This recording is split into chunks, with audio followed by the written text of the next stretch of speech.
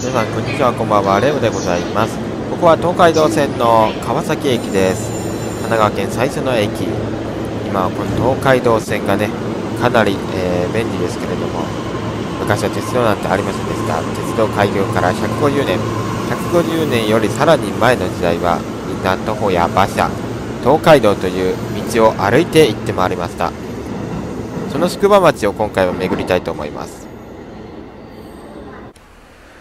ということでここが川崎宿東海道に来ております。こんな感じでねあの東海道川崎宿も400年の歴史が経とうとしております。このように街の至る所へも宿場のこれタバコのねやつなんですけどこんなところまでも東海道川崎宿とすごいおしゃれな感じで描かれております。すごいよね。こんなのまであるんだね。喫煙所。でここにも東海道川崎塾至る所にありまして今日はですねあのいい天気でしたんでどこか出かけられないかなと思って調べたらまあ前から気にはなってたんですけど僕宿場巡りが結構好きですのでまあせっかくならと川崎と砂川この東海道の非常に有名な町の2つの宿場町を今日は散策していこうと思っております。しばらく東海道を歩きましてこちらの交差点に着きましたがこの賑わいですね。川崎も大都会ですから。昔はここはですね、かなり田んぼとかが多く、えー、田舎の風景だったようでして、こちらにですね、こういったものがあるんですけれども、もともとここはですね、川でした。このような感じ。昔はこれこうだったんですよ。昭和6年。今通ってるこのバスのところがね、川。これが小泥橋というところでございまして、昔はここに橋がかかっておりました。そして川が流れていました。川崎駅方面に川が流れていた。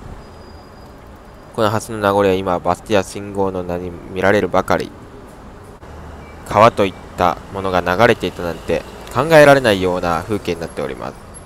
今、ゴミ収集車が通っているところ、この辺が全部川でした。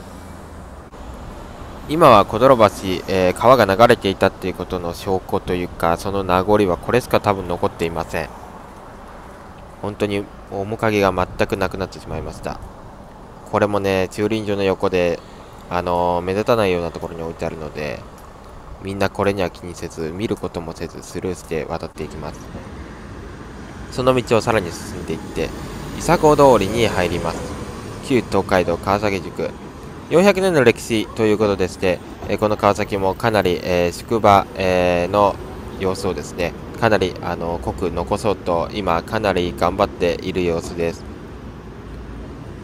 ただ今の人たちはみんなねその東海道とか旧宿場とか旧宿場とか宿場町とかそういったものなんてお構いなしというか一切考えてないで過ごして進んで、えー、進んでるというか歩いてるんですよね。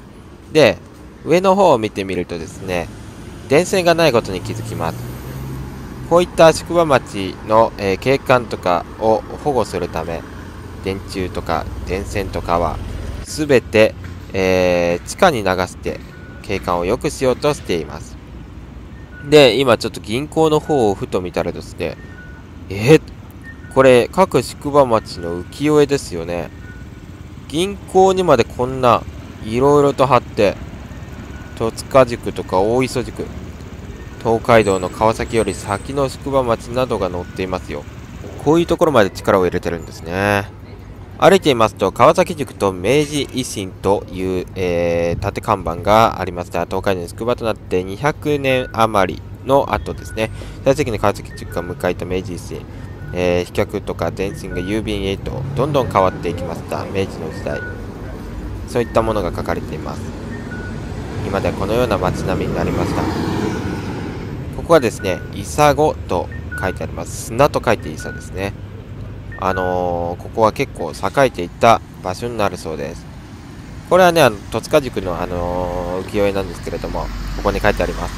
400年の歴史ということで、2023年、来年ですね、川崎塾が起立してから400年の歴史が経とうとしてますよ。そのように書いてあります。で、鍵の手のように曲がっています。これもね、東海道というかいろんな宿場町のあるあるなんですけれども見通しを悪くするためにこのような曲がった形にしています。敵などが攻めてきた時にあの見通しがいいと良くないので見通しをわざと悪くして、えー、敵の敵からね守ろうとそういった感じになっております。旧東海道こういったものもいいですよね。トイヤバートの、えー、案内があります。あのセブンイレブンの場所がもともとトイヤがあった場所。で今ちょうど工事してるんですけれどもすいませんがって感じでちょっと見させていただいてますが中野本陣。ここに本陣があったと言われております。田中良本陣佐藤本陣。あのその2つの間にあったみたいなそんな感じですね。その中腹にあるあたり。本陣というのはお偉いさん方しか泊まれない特別なお宿です。でこの問屋場の方に来てみます。と向かいにあります。問屋場。問屋場というのはですねあのー、まあ飛脚とかがあの荷物の、えー、取り扱いとかをする場所ということで昼夜交代で勤務していたとそれでかなり賑わっていたまあ、そういったところですね。今でいう、まあ、郵便局とかですけれども、これセブンイレブンになってるってことは、セブンイレブンもほら、今いろんな仕事をやってるじゃないですか。なので、まあ、問屋場みたいなもんですよね。現代版の問屋場。だから、あそこにセブンイレブンがあるのは、昔からの名残なのかな、そう思います。ここにやってきました、川崎塾交流館。ここはですね、この東海道川崎塾の歴史をさらに知ることができる、えー、交流館治療館となっておりますので、無料で入ることができる場所です。東海道の旅をしていたら必ずしも立ち寄りたいところ、こういったところで、ここの宿場は一体どんな街になっていたのかということがね、勉強できます。で、ちょっとふと見たんですけど、見て気づいたんですけど、これ、川崎鉄道。なんかこんなものが書いてありますが、鉄道開業150周年。先ほども言いました150年が経ちます、鉄道開業からね。その鉄道150年を記念して、こういった展示品をやるそうです。これね、あの、時間があったらまた見に行きたいんですけれども、川崎に来る用事が、ま、ないかもしれないからわかんないです。中に入りました川崎塾の模型ということで、このように、道が曲がったように東海道が、えー、ずらっとね、並んで、並んでるというか、えー、道がね、ありますけれども、やはり鍵の手錠、先ほども言いましたが、道が曲がっているというのは宿場あるあるです。宿場町といったらこんな感じ。ここは京型の見つけです。あの、松尾芭蕉のなんかね、やつが、区碑があるそうです。で、こっちがさっきのね、小泥橋です。これですよ、これ。さっき言ったところ。川が流れてるでしょ？昔はこんな感じだったんですよ、川崎って。今、道路があんなでっかいのがある、あの、走ってますけれども。昔はそこは川でした。で、先ほど、その小泥橋からどんどんどんどんと道を進んで、佐藤本陣ありましたね。あ、佐藤本陣は見てないや。そのイサゴまで行って、その中本陣か。その間にある本陣がありますよっていう説明がありましたけど、まさにそこです。で、周りもほら、田んぼとか、そういった感じの景色ですごいね、地方の田舎の風景ですよ。川崎って昔はほんとそうだったんですよ。まあ、どこもそうだろうけど、今のように大都会ではなかったわけです。考察場もあり、問屋場もあり、先ほどのところです。先ほどのところに考察場があったようですね。で、その先に進むと、この川崎塾で一番大きい田中本陣という、えー、本陣があります。後ほどね、後でね、見ていきますけれども、さらに先に進んでいくと、江戸方の見附につきまして、ここが多摩川、6号の渡しというものがございます。昔はこの多摩川というのをえー、6号川とも呼んでいたんですけれども、えー、この川をですね、渡るときに橋などを架けていたんですが、橋がですね、どうしても壊れてしまうということで、洪水とかでね。なので、もう船で渡していた。結構最近まで、えー、船で渡して渡っていたという歴史があります。これが川崎塾の浮世絵です。これが6号の私の絵。これが川崎塾ですね。こうやってみんな、えあの多摩川を渡って、えー、江戸と川崎の方を結んでいたということになります。昔はこのように富士山がくっきり見えていたんですね。今では富士山は見えないでしょう。さらに2階の資料館に上がってまいりました。旅籠町屋という説明書きがあります。さっき本陣とかいろいろ説明していたんですけれども、この旅籠というのは何な何なのかというと、庶民のための食事付きの旅館、要するに一般の旅人などが、えー、泊まれるホテル、ホテル、今、今でいうホテルです。旅館です。そういったところですね。で、本陣がそのお偉いさん方しか泊まれなくて、あのー、一般の庶民の人たちは泊まれません。資料館はこのようにいろんなものが書いてあって、たくさん学ぶことができます。で、ここにですね、先ほどの本陣、田中本陣とはと書いてあります。まあ、本陣は大名とか、えー、その幕府のね、役人などが、えー、お泊まりになるための特別なお宿ということになります。本陣というのは宿場町に必ずあります。お偉いさん方が泊まる宿は必ず確保しているといった感じです。いろいろ見てたらですね、係の方が、こちらで写真撮れますよ、撮りますか？って言われて撮ってくれました。ありがとうございます。いろいろね、あの、その方からお話をいただくことができまして、めちゃめちゃ勉強になりましたし、本当にありがたかったです。さて、会館めちゃめちゃ良かったです。これ交流館ね。あの、本当に親切にいろいろと教えてくださいまして、川崎とか、この辺は意外と坂本龍馬のね、足が足を踏み入れた場所で結構ゆかりの地なんですよって教えてくださいましたでは先に行きましょうしばらく歩いてきてこの東海道川崎宿といった、えー、信号のところにやってまいりましたがこのトーテルというお店えー、そこでですね、あのー、栗まんじゅうを買ったんですけれども、非常に栗とかが有名で、あのー、栗ご飯とかもいただけるそうです。で、それは食べてないんですけれども、ちょっとそこで栗まんじゅうを買いました。一番大きな本陣跡地ってどこだろうなと思って見たら大工事やっちゃってて。でねなこの工事のこの場所に書いてありますねこれ。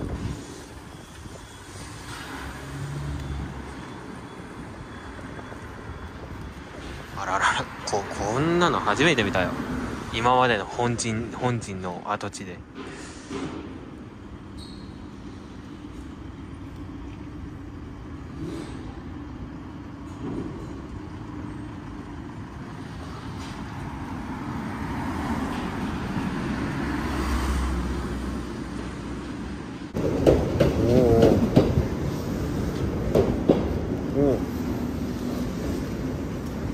完全に焦ってタイミング見失っちゃって失敗したんだけどここね京急大線なんですよ。で京急大線って関東初の電気鉄道なんですね。あのー、電気で電車を通すっていうのをここで初めて行ったみたいらしいんですね。で、やっぱり川崎大使というのが非常に有名だと思うんですけれども、その川崎大使に向かうための鉄道を敷いた時に電気で初めて動かしたのがここらしいです。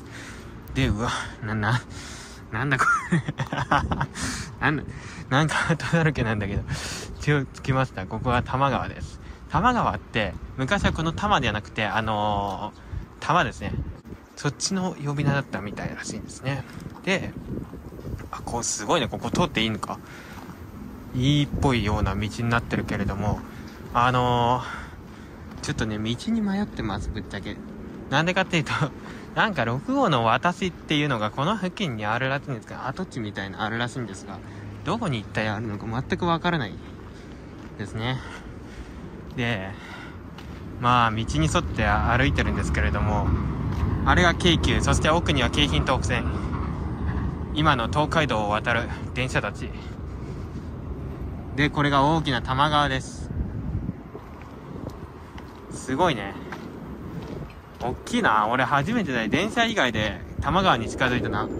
初めてなんで、すごいいい景色ですね。で、やっぱりこの多摩川っていうのは、非常に大きな、あのー、川でして、まあ見、見るからにわかると思いますが、今はここが江戸と神奈川境界線ということになっておりますが、やはり、あのー、このところを、ああいった船、まあ、あれとはちょっと違うと思うんですけども、船でここ行き来するしか方法がありませんでした。今のように技術は高くなく、橋なんか架けられません。ですので、船で渡りましたが、ここはあまりにも大きいので、すごい、あのー、増水したりとかね、あのー、すごいことになった時にはもう渡れなかったりとか。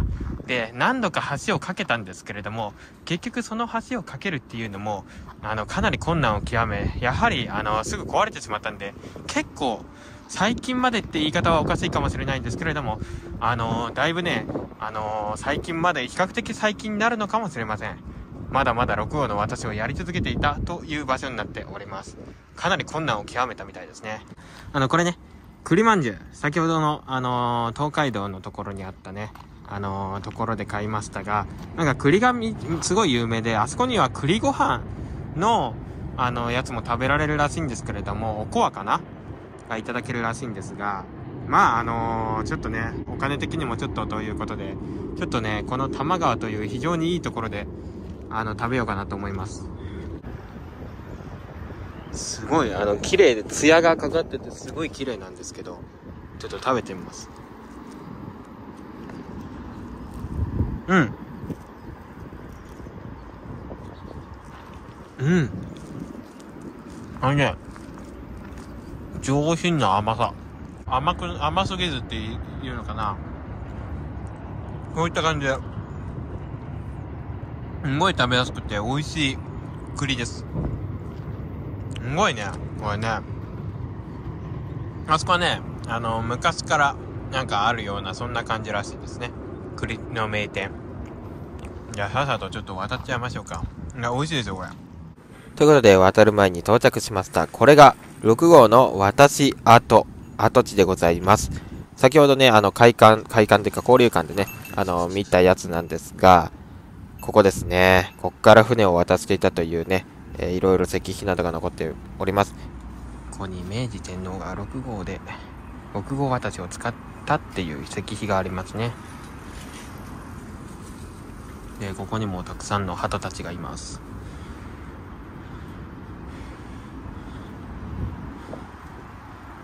これ大名行列だ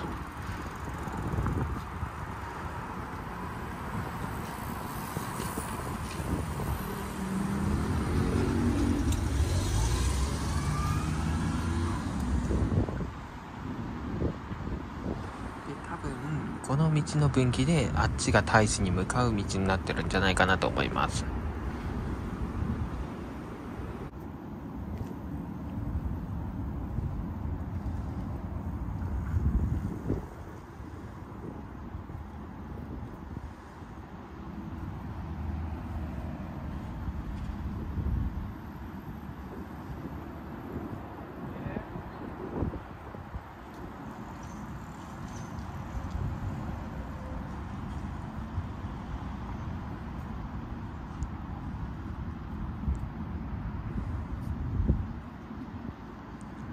なるほど。もともと最初は橋を架けたんですって。だからこれあれだ大名行列の橋だ。これが六号大橋になるんじゃないかなって思います。こう渡ってきて。だって船じゃないもんねどう見ても。でそれが流されたと。まあさっきも言いました。大洪水とかそういったものでたびたび橋が流されるっていう話。それでいてやっぱり無理無理だからもう船にしますっつって長年船だったということで今はこの大きな6号橋がそれを担っています。それじゃあ歩いて東京都に入りましょう。今の江戸の入り口だからね。昔の江戸の入り口はあの高輪辺りだったらしいですね